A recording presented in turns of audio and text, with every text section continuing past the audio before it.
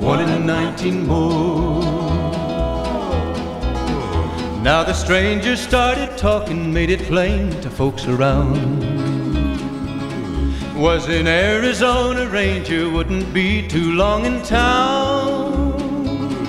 He came here to take an outlaw back alive or maybe dead. And he said it didn't matter, he was after Texas Red. After Texas Red.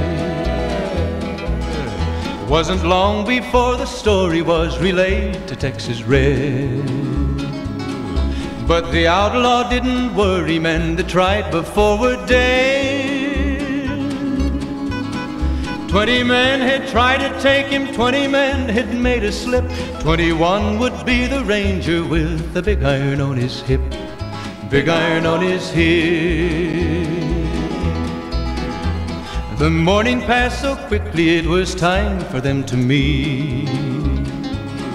It was twenty past eleven when they walked out in the street.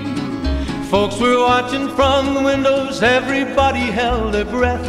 They knew this handsome ranger was about to meet his death, about to meet his death. There was 40 feet between them when they stopped to make their play.